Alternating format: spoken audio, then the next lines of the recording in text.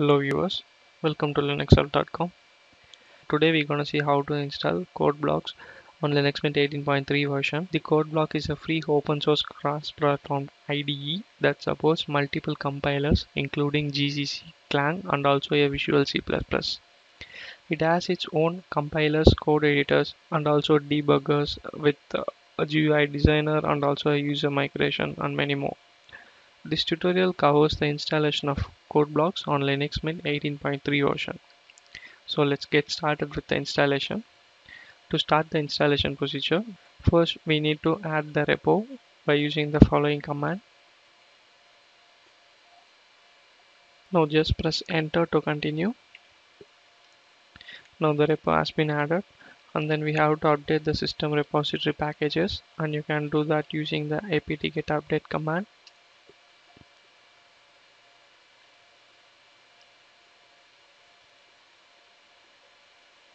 Now the system has been updated with repositories. The next step will be installing the code block package and you can do that by using the following command. Now just press Y to continue.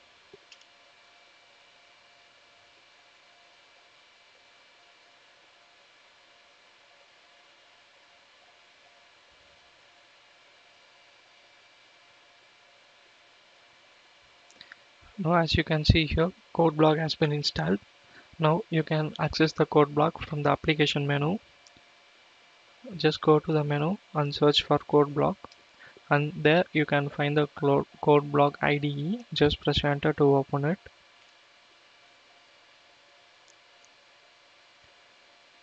Now just press OK to select the GNU GCC compiler as a default compiler.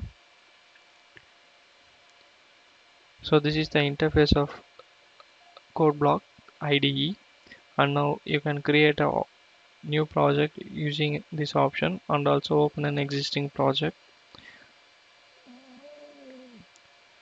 So here you have a various number of templates according to category. You can choose anything depends upon your work. Now let's say I'm gonna develop a console application. Just choose console application and then press go. And then you have to choose your language type. Which language type you want to use? C or C++ here I am choosing C. And then here you have to give your project title. Let's say Linux help. And just press next.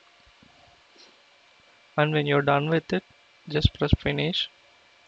And here your new project will be created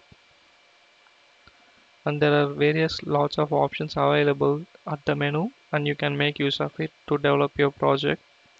So this is how you install and use CodeBlock IDE on Linux Mint 18.3 I hope this tutorial helps you. Thank you for watching. If you like it please subscribe to our channel and also to watch more tutorials visit www.linuxhelp.com mail us to support for any queries